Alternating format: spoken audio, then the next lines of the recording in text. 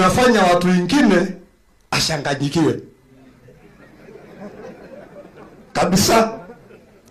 Kwanza ile mtu inaitwa baba, hata yeye sasa anataka aitwe tangatanga, lakini jina imepitwa, hiyo imepitwa na waka na wakati, kwa sababu aliitwa baba na watu wakakataa kupanda safina, safina ikakataliwa.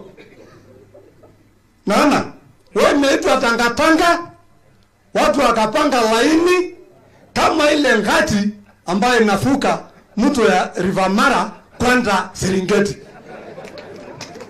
Oye, si imesema ina watu imeminika kupanda safina kama hiyo ngati ya kwenda Masai Mara kuvuka Mara kwenda Serengeti. Sasa anataka kupindua hiyo jina tena,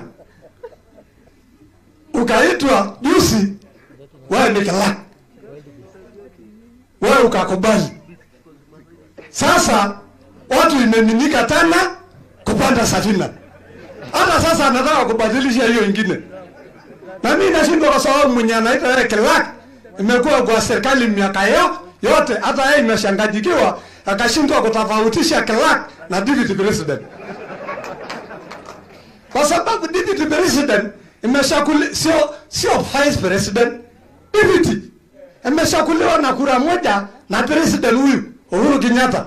Sasa mtu anakaa kama waziri na yeye hawezi tofautisha clerk na deputy president, si hiyo kushanganyikiwa?